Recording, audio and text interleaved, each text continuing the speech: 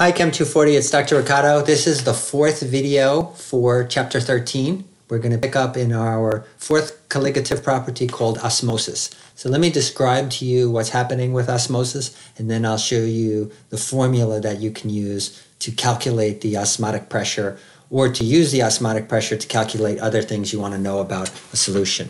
Okay, so here's the uh, concept behind osmosis. In order for osmosis to occur, you need a semi-permeable membrane. So you're thinking down at the molecular level here, right, where this could be a, um, uh, a cell membrane, okay? Not so much a cell wall because they're pretty much impermeable, but a cell membrane that kind of had gaps in the molecular structure. So places in the structure that could allow small molecules to go through, but not larger ones. So it's co- sort of size selective.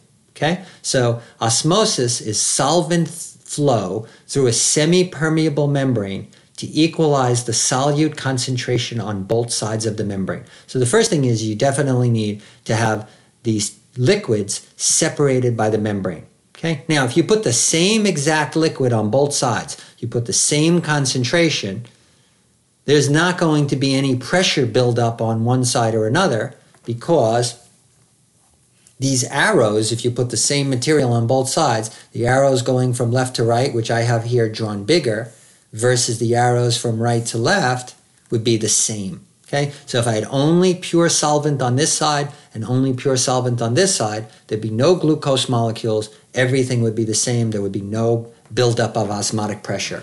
The key is only the solvent molecules are small enough to go through the membrane. So here's a channel in the membrane, right? A lot of biological systems have membranes in them. All of our cells have membranes in them. They have channels that allow some things to go through, semi permeable, but not others. Well, guess what? The glucose molecules are way too big to fit through here. They don't have the correct intermolecular uh, properties. Not not only is it size, but they may be um, this. They may be tend to be a very polar, and this membrane may be less polar. So they don't. They can't travel through.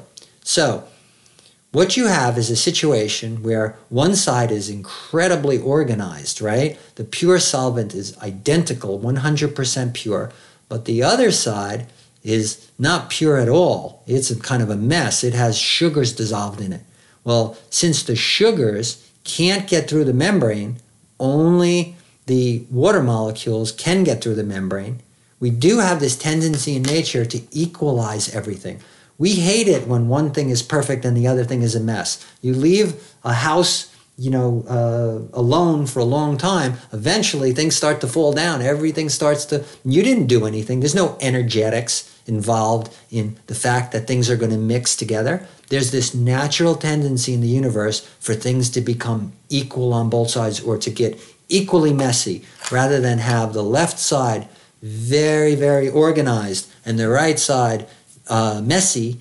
Both sides will become equally messy, right? So, what do we have? We, we kind of tricking nature here. That fundamental force in a way, or that fundamental driving force is called entropy. Things want to go, tend to go to less organization. So even though there's no energetics for the water molecules traveling favorably from left to right, there's an entropy factor. By going from left to right, what's going to happen is they're going to make this side more dilute. And ultimately, they're trying to get closer and closer and closer to pure water. It can never get there, right? Because there's going to still be a little bit glucose, but by the water moving in this direction, it goes from more dilute to less dilute. Okay? Uh, excuse me, it goes for, yeah, it goes from incredibly dilute, uh, meaning no glucose on this side. By going over here, you're going to dilute the other side. So that's the driving force. It's an entropy driving force, a messiness driving force. Okay, now a lot of cool uh, things. I want you to think about uh, grapes, right? So one of the things that you do with your grapes is when you have grapes, you take them and you keep them wet, right? All of the vegetables at the grocery store, they have misters on them. If you keep your grapes a little bit moist, then what's happening is through, first of all, you don't pull the grapes off of the, um, because you break the, the bond, uh, you break the, the seal, right? So you keep your grapes nice and tight on the um, uh, on the vine, okay? And if it's wet on the outside of the grape, the skin of the grape is a cell membrane. Water can get through, but the sugars can't get out. So if the grapes are wet, you're going to keep them nice and plump because water is going to keep on going through the membrane by osmosis and the sugar can't escape. So that's the reason to keep your vegetables moist or your uh, lettuce moist is this idea of um, osmosis going through the membranes of the grape. So there's the skin of the grape. Water can get in, Glucose can't move that way. So the skin, the grape here, is going to become more plump and beautiful and more tasty because it's going to have more water in it. Opposite is when you make raisins. You make raisins on purpose by allowing the water to leak out when you have uh, like sun dried, or you can make this more sugary on the outside, and then the raisins will contract this way if it's very sugary on this side, if the concentration is bigger on the other side. So we'll talk about that in a minute. Okay, so that's what's happening. It's a difference between uh, the pure side and the solution side. That's osmosis. The driving force is always to go from the solvent molecules go from the less dilute side from the more dilute side to the less dilute side. So pure is the ultimate dilute. So pure would definitely go this way. And only the waters can fit between the membranes. Here's the formula, okay? So the osmotic pressure is a colligative property of a solution equal to the pressure that when applied to the solution just stops osmosis, okay? So the osmotic pressure in my picture back here would be the amount of pressure I would have to push in on this liquid and force this liquid into the membrane on this side so that I could balance these forces and they would become equal. So how much pressure do I need to apply is the osmotic pressure. Okay? If I apply that pressure and I squeeze this liquid in, I have this in a syringe on the membrane and I squeeze this side in, I can stop osmosis. If I put more pressure than that, I can actually create reverse osmosis and force the water in the direction that it doesn't want to go against nature and take water out of this concentrated side and push it in the other direction. So that's one way to create pure water from salty water. Some desalination plants use reverse osmosis, where you put pressure on the salty water to force fresh water out the other side. But that takes a lot of energy to keep that pressure up. So you have to burn a lot of uh, hydrocarbons. So in countries that have more um, oil and gas than they do fresh water, like Saudi Arabia, at the refineries, many times while they're doing the refining, they use some of the um, fossil fuels to generate water for their society. Okay, because you need you need water is just as important. So if you're in a desert community, you can use reverse osmosis. Okay, so osmosis naturally goes this way. Reverse osmosis is you push the pressure back the other way. Okay, here's the formula, and then I'll show you a couple of other cool things from the book. Okay, so now the osmotic pressure is equal to the symbol pi. It's got nothing to do with circles, okay? It's just the same unit, okay? It's just the same um, uh, variable, okay? So the osmotic pressure is the colligative property of a solution equal to the pressure that when applied to the solution just stops osmosis. The osmotic pressure then is equal to the molarity with a capital M, the moles per liter of the solute in the solution.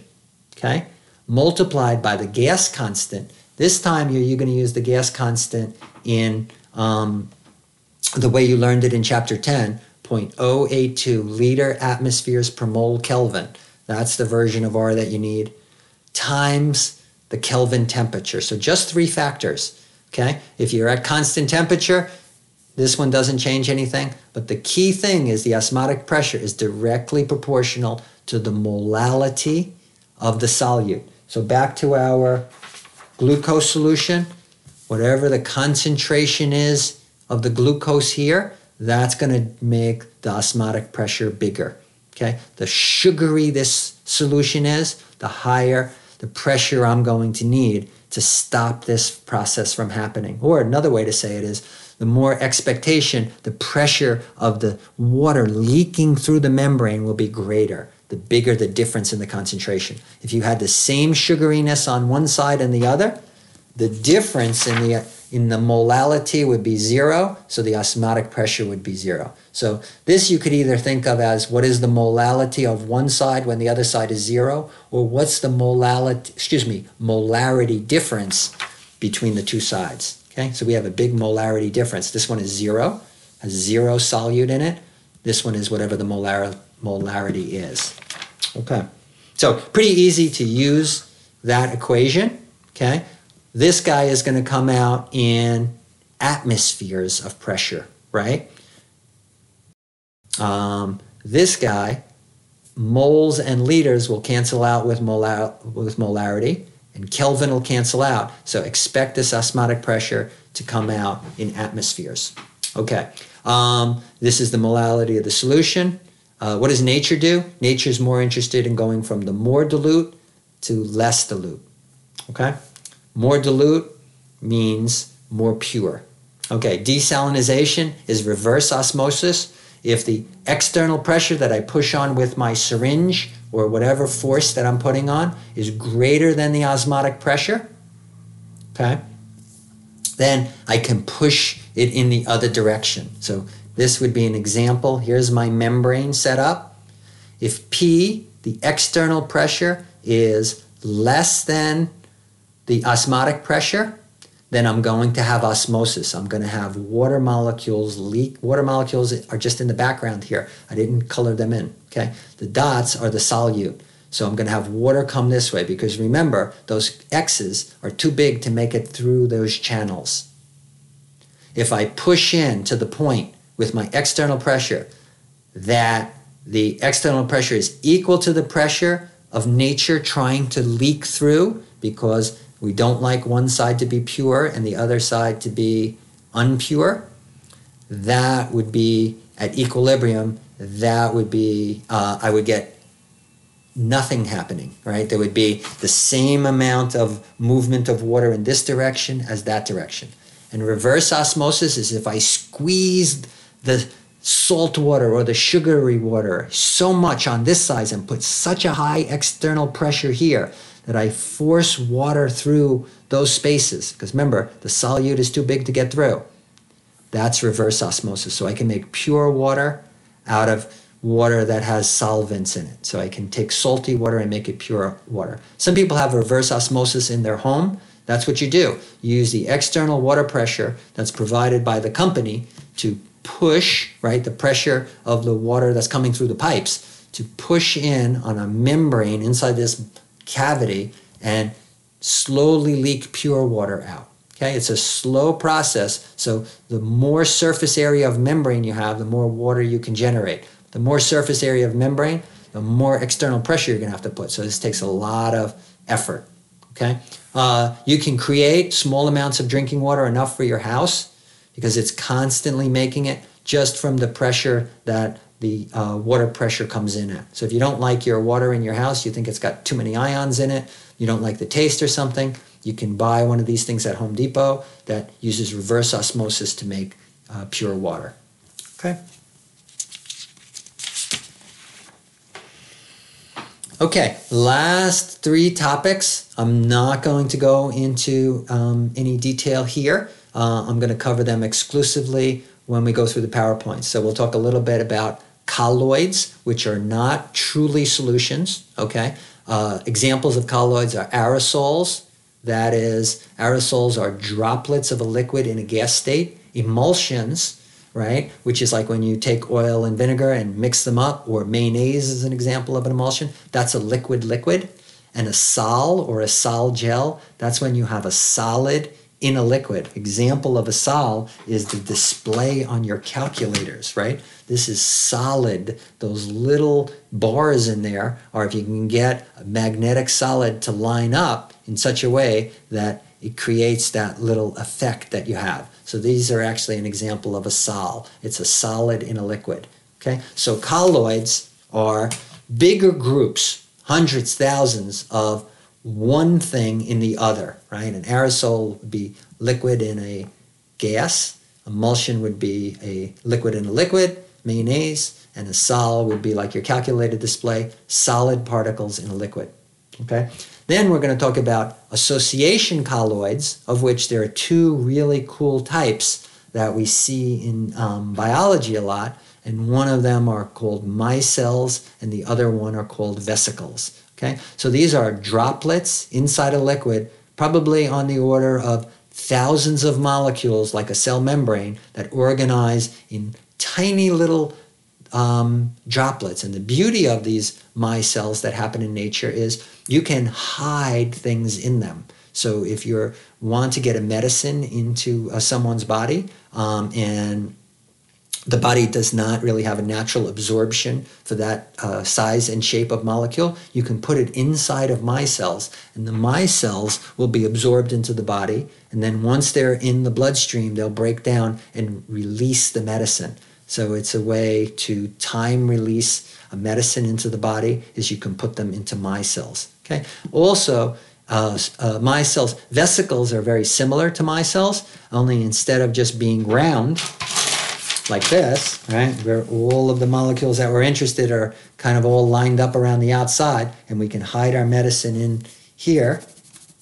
What a vesicle is, a vesicle is kind of like a donut.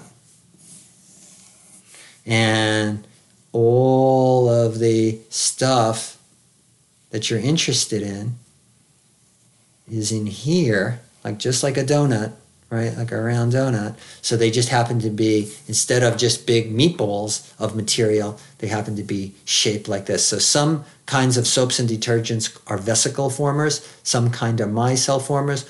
What's the material that I'm talking about? One type of chemical that does not like to dissolve in another. So if this was in water, you might have all different molecules kind of arranged like this where all the molecules pack together to make these superstructures. So I'll talk about them a little bit more. Okay. Uh, and lastly, how does soap work or how does detergent work? Soap is a micelle former. So I'll explain how you remove the dirt from your skin or clothes um, by uh, uh, using micelles. Where does the dirt go and how does it get carried out of the clothes or out off of your skin and down the drain. Okay, so that's it for um, uh, the last video of um, chapter 13. Okay, um, I might make one special video. Wait, I might as well show you this while we're here. This is from your book. This, sort of, this is a, a red uh, blood cell. This sort of is ta- started taking the shape of a, uh, a vesicle. Okay, you can sort of see the puncture coming out. And this guy would be more of a micelle where they're round like that. Okay?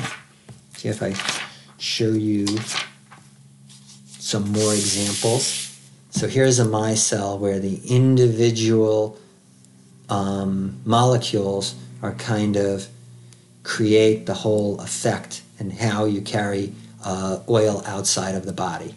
Okay, I'll do this more in lecture.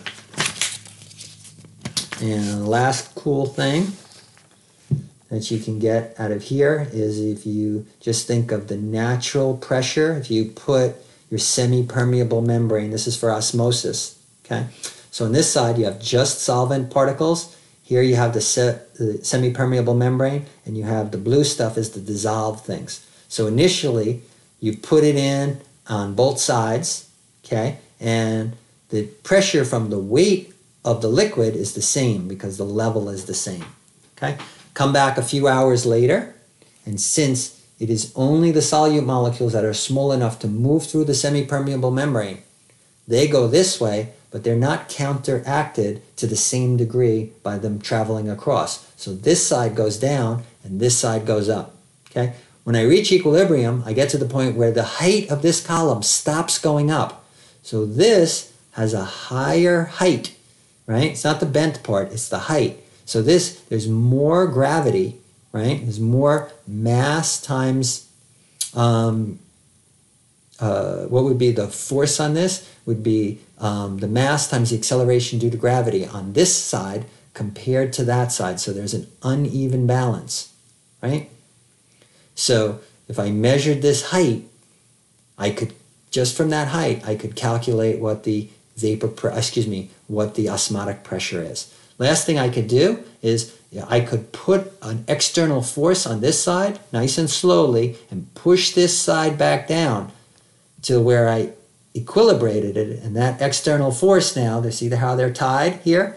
They're tied here. This comes to equilibrium, right? What's providing the extra force here that makes it not uh, continue to um, undergo osmosis? Well, the weight of this extra liquid on this side is now pushing down more on one side than another. It's not balanced.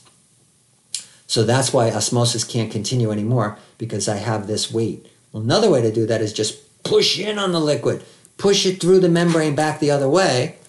And now that osmotic pressure, that amount of pressure that you have to put on here is the same as the pr- pressure provided by the extra layer of water.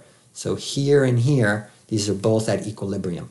Okay, here's the process is just starting. So you're out of equilibrium until the two sides become equal.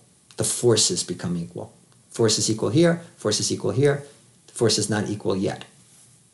Good? All right, let's take a break right there. That's everything for osmosis. Good.